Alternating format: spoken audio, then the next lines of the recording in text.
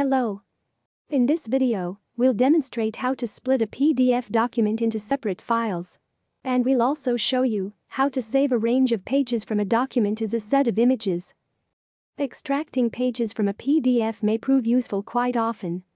Most likely, you'll need it when you want to review a part of a document together with your customers or colleagues. Instead of messing with a whole PDF document, you can send just the necessary and sufficient information as an email attachment.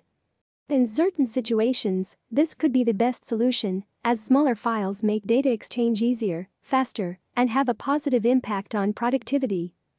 Please follow this link to access our online application.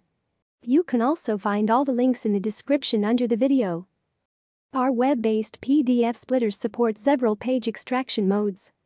By every page. By chapters. Odd and even pages. Every n pages. By a given page number, and by a page range. The first five modes result in creating multiple files. For instance, if you select splitting by every page, you will get each page in your PDF saved as a separate file.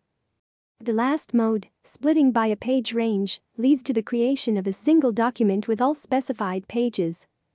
Let's take an example and see how to split a PDF document into two parts by a given page number. Please follow these steps. Upload a PDF you want to split.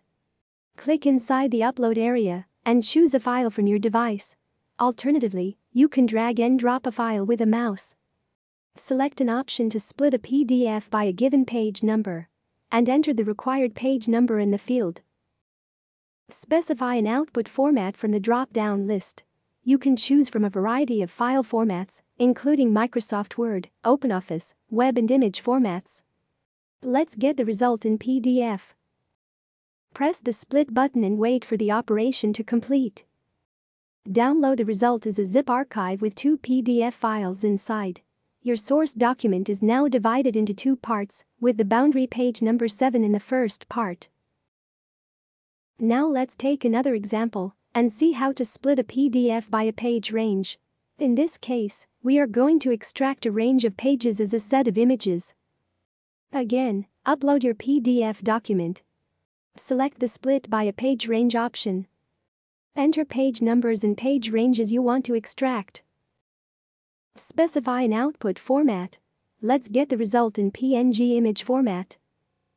Press the button and wait a moment until page extraction is over. Finally, download the result as a zip archive with multiple images inside. Thanks for watching.